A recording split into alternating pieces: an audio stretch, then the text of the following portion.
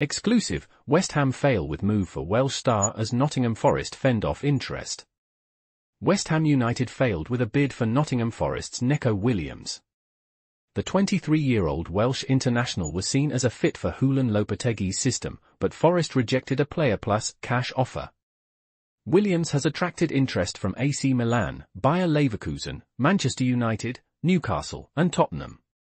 Despite the interest, Forest are not looking to let Williams leave this summer. Please subscribe to my channel.